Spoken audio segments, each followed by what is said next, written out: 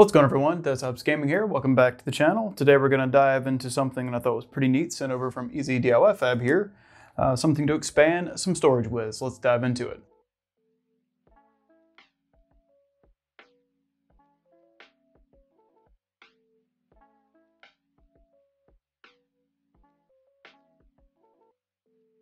So welcome back, I appreciate you guys stopping by today. Today we're going to be taking a look at this little guy sent over from EZDIYFAB. We're going to start unboxing it here where you guys can see some close-ups. Uh, we're going to be using this to expand a little bit in the main rig here. It's an M.2 adapter. Uh, so what this actually does is fit an M.2 drive into a by 16 PCIe slot. So as you guys can see here, the M.2 would mount here on the front if you screw it down like it normally would of your motherboard, and this would be inserted into a by 16 slot onto your motherboard itself. Now this only does support M.2 uh, SSDs, no SATA SSDs uh, supported on these here. It actually does mention that on the bottom of the PCB here. Uh, but basically, like you would any other M.2, going right onto your motherboard, it would just slot in here, and of course be screwed down there. Now what else is included in the kit? We do have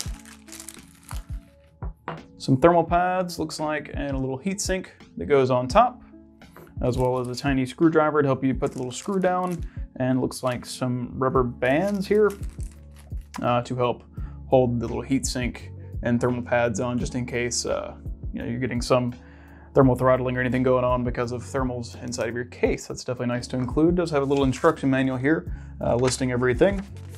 Uh, but today I figured we'd go over installing it here. Uh, where would this come in handy? Uh, in, in the case of my motherboard, I have a B550 Aorus Pro as my main motherboard in here. It only has two M.2 slots, uh, one that is Gen 4 connected straight to the CPU, and then one below that to the chipset. That one is just Gen 3. Now this only works uh, for Gen 3, but that's fine because this drive actually here I have from Kingston is just a Gen 3 drive. Uh, so it wouldn't work in the case of if you want a Gen 4 speeds, but if you're wanting to you know, add some extra storage to Gen 3 you have and you say you're out of M.2 slots on your motherboard, this is a pretty good way to do that especially if you don't still need that slot on your motherboard. All right, uh, so let's go and dive into installing this guy. We're gonna do some tests. I may end up putting the Kingston drive here as part of my main drive because I believe this does have OS on it already. And then we'll put it into the top slot on my motherboard. Then we'll go and install uh, Crystal Disk Mark and then get some benchmarks of read-write speeds onto this guy. This isn't a super fast drive, but just get a baseline of what it would do, say, through the top slot of the motherboard, the one connected directly to the CPU, and then we'll install it onto here and then get some benchmarks of what it would run off the PCIe slot. So let's go ahead and dive into installing this now. So as I said before, we went ahead and put the drive in the top slot there, just pulled the main drive I had out. Like I said, I had a silicon power drive in there before, have the Kingston drive installed in there now. Like I said, this system already had two drives in it. I did have a silicon power one there, and then I had a one from Patriot underneath the little GPU there if it will focus on it. And one from Patriot Viper installed there. So I had both M.2 slots already taken. Now obviously the goal with this, I just wanted to test the speed difference between installing it to a main slot versus at a PCIe slot. Probably gonna put it in the bottom slot there. Uh, but wanted to run some Crystal Disk Mark here uh, with it in the top slot and then move it to see what happens. So we went and have Crystal Disk Mark pulled up here. So we'll do a three test at one gig and we'll do all and just see what kind of results we get here. All right, so as you can see, it's not the fastest drive in the world there. We're getting a little over two gig read there. Like I said, this is just a Gen 3 drive. Uh, this adapter would be better for Gen 3 drives. It doesn't really support Gen 4, uh, but it will support Gen 3 uh, M.2 drives non-SATA. So look at M.2 is non-SATA. All right, we'll go and let the test finish here, see what we get after consecutive read writes. And then we'll compare after we move it. You can see we took some hits there after consecutive read writes, or consecutive reads. Once the writes are about to start here in just a sec. Being at about uh, half capacity, this would be a little more indicative of uh, a real drive in day-to-day -day use, not uh, one you just set up, just put Windows on. Uh, if you guys give a little uh, background on how NAND flash works, uh, it actually constantly moves what you have stored on it around its different flash chips. so the more data you have stored, like I said, the more time that can eat up transferring that around because it never wants to keep it saved to the same NAND. It actually copies it, moves it to a different NAND pretty quickly, over and over again. Is just about wrapping up here. Uh, as you can see, we can get a snapshot here of the read-write speeds we were achieving.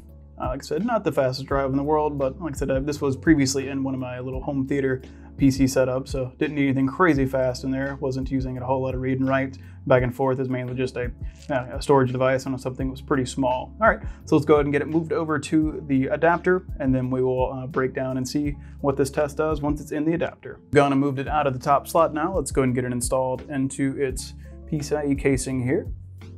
So like I said, pretty easy to work with. Like so you just have this little PCB here that's a by 16 on the bottom here. And it works like any other M.2 would. It'll just take a little screw out here and provide a little screwdriver in the kit for you. Take that out.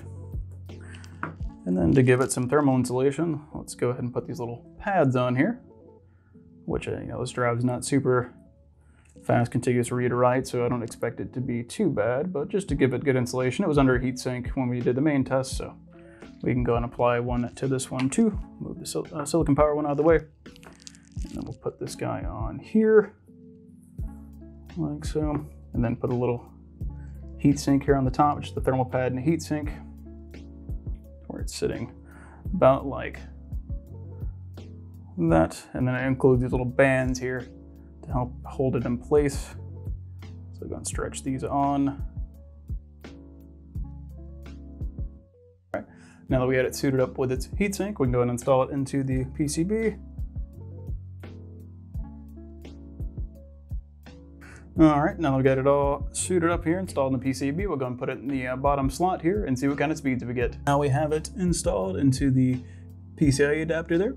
Just have it clipped in to the bottom there. Let's go and run the same tests we did on Crystal Disk Mark earlier. Three gig, or three test, one gig, run all, and see what kind of speeds we get.